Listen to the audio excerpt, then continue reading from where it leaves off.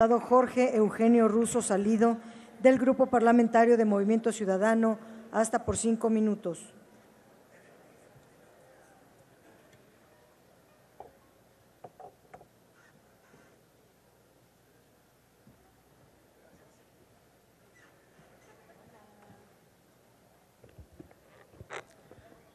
Con su permiso, diputada Presidente. Adelante.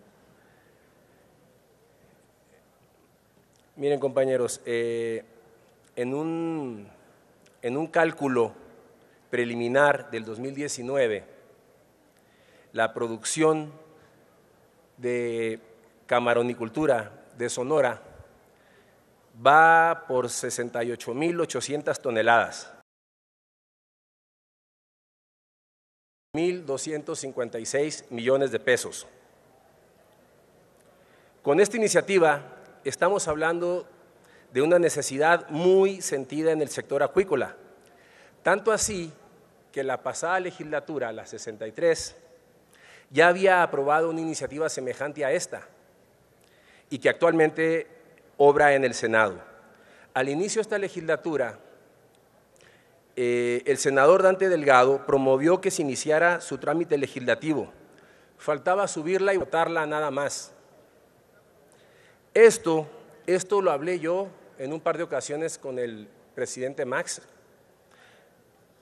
Él me explicó en su momento la mejoría de reiniciarlo, corregido y aumentado. Yo así lo entendí, así lo comuniqué a mi fracción y aquí estamos apoyándola. Hay muchas razones de peso para apoyar la noble actividad de la acuacultura. Máxime, cuando en el presupuesto que se acaba de aprobar ni siquiera se hizo el intento por, por compensar las asimetrías que con los países competidores tenemos.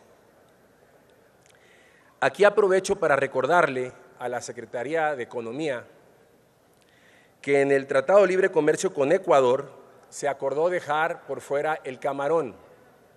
Es muy importante recordarlo, no sea que en esos repentinos arranques de magnanimidad con Sudamérica que tenemos últimamente, se nos cuele ese tema de vuelta. Y es que pues nos agarran la medida. Miren, en meses pasados se corría riesgo de que se cerrara la frontera con Estados Unidos para la exportación de camarón mexicano, incluyendo el acuícola. Esto debido a solicitudes de grupos ambientalistas en Estados Unidos por los problemas existentes en el Alto Golfo, que siguen esperando solución, por cierto, lo cual ya fue tratado eh, con el titular de SADER, esta, él a su vez tuvo reuniones con sus pares de Estados Unidos y quedaron en dejar por fuera ante cualquier amenaza de cierre de frontera el camarón de acuacultura, ya que se produce este fuera del mar. Pero no nos distraigamos de esos detalles tampoco. Debemos dar a la acuacultura estatus de actividad primaria y equipararla con las actividades agrícolas y pecuarias para homologarle los beneficios que esto conlleva, precios de insumo, de combustibles, consideración de impuestos, siendo estas las dolencias más sentidas del sector,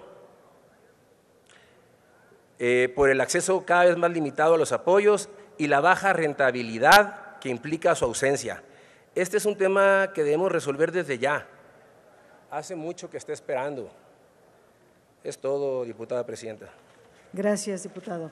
En el uso de la palabra, el diputado.